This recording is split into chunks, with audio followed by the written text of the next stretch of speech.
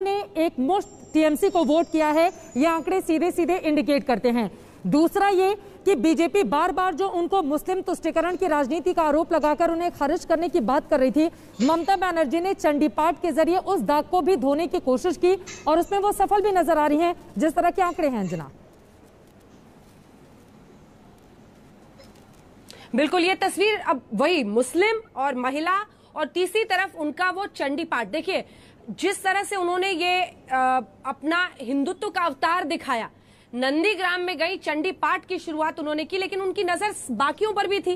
तो वो कलमा भी पढ़ी वो चंडी पाठ भी पढ़ती रही शांडिल्य ब्राह्मण भी अपने आप को बताया। यानी उन्होंने कोशिश की जो हिंदू प्लान जो हिंदू ध्रुवीकरण जिसके आधार पर जय श्री राम का नारा गृह मंत्री अमित शाह से लेकर पूरी बीजेपी वहाँ बुलंद करती रही।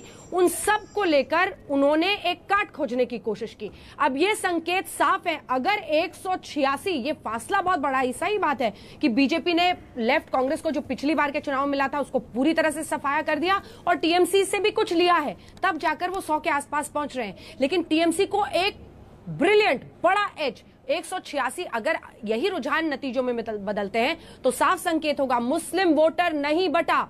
असदुद्दीन ओवैसी हो, या फिर फुरफुरा शरीफ के अब्बास सिद्दीकी का, और जो सेक्युलर फ्रंट बना लेफ़्ट टीएमसी और कांग्रेस के साथ। तीसरी तरफ़, जो भी अलग अलग पार्टियाँ ये कोशिश करती रही रीजनल स्तर पर, कि वो किसी तरह से मुस्लिम वोट को बांटे, वो नहीं हुआ। एक मुश्त ये हम लोगों ने देखा था फुरफुरा शरीफ के गढ़ में जाकर।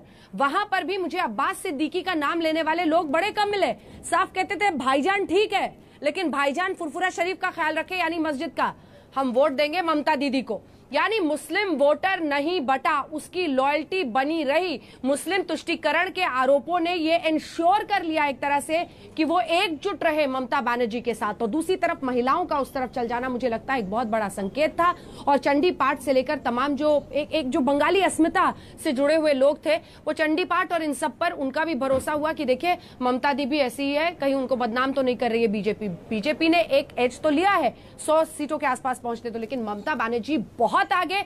ये साफ़ संकेत कि मुस्लिम हो, महिला हो, सब उनके साथ बने रह गए। हमारे साथ कई खास मेहमान जुड़े हुए हैं, जिनमें अब मैं गौरव भाटिया आपके पास आना चाहती हूँ। गौरव भाटिया जी, देखिए, ये सच है कि तमाम, अगर आप तस्वीर देखें तो आप लोगों ने पिछले चुनाव से, विधानसभा चुनाव से काफ़ी गेन किया है। लेकिन सौ से नीचे रह जाना और वो तब जब आप लोगों ने प्रशांत किशोर का जो उनका आरोप है कि आप ही लोगों ने उनका ऑडियो लीक किया था, आप लोगों की नज़र तो वहीं पर होगी और प्रशांत किशोर की भी, कि सौ के पार होते हैं या नहीं?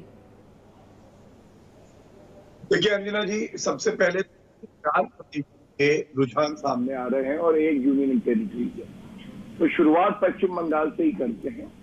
तीन से और अभी जो रुझान में सौ दिखाया जा रहा है, हमें यकीन है कि सरकार हमारी बनेगी, शाम तक इंतज़ार करना चाहिए, लेकिन तीन से सौ तक का ये जो आंकड़ा बड़ा है, ये बहुत बड़ी जीत है। और इसकी वजह मैंने बता दी है, विचारधारा, नेतृत्व मज़बूत नरेंद्र मोदी जी का और हमारा संगठन जो कार्य कर रहा था। और टीएमसी के लिए जो आप कह रही हैं तो पिछली बार 211 सीटें टीएमसी जीती थी। और इस बार जो रुझान है, एक दिखा रहा है। तो सीटों में कमी ही आई है। इसको जीत माने या हार माने, ये भी अभी शाम तक पता चल जाएगा। दूसरी बात मत भूलिए कि एक तरफ़ सकारात्मक चुनाव श्री नरेंद्र मोदी जी के नेतृत्व में हमने लड़ा, लेकिन दूसरी तरफ़ हमने क्या देखा? संवैधानिक संस्थाओं को तार तार होते हमने देखा, जैसे कि इलेक्शन कमीशन ऑफ़ इंडिया पे उंगली उठाना। टांग टूट गई मेरी, कह रही थी, मेरे पे हमला हुआ, इलेक्शन कमीशन ऑफ़ इंडिया ने कहा, कोई ऐसा हमला नहीं हुआ था। अर्धसैनिक बल जो हमारे लिए हिफाजत का काम करते हैं, उनका घेराव करने की अपील दो घंटे तक एक पोलिंग बूथ पे बैठ जाना। ये अपने आप में दिखाता है कि ममता बनर्जी भी अंदर से जानती थी। वो नंदीग्राम हार रही है। पश्चिम बंगाल में भारतीय जनता पार्टी टक्कर दे रही है। अब आते हैं असम में। असम में जो रुझान सामने आ रहे हैं ग्यारह सीटें हमारी गठबंधन की बड़ी है। ये खुद में दिखाता है कि किस तरह से सुशासन गौरव जी इससे पहले कि हम आगे जाए एक सेकंड गौरव जी।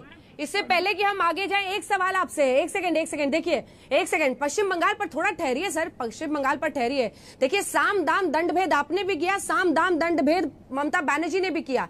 लेकिन अगर आपके चाणक्य और आपके साम, दाम, दंड भेद को ममता बैनर्जी परास करती है तो आप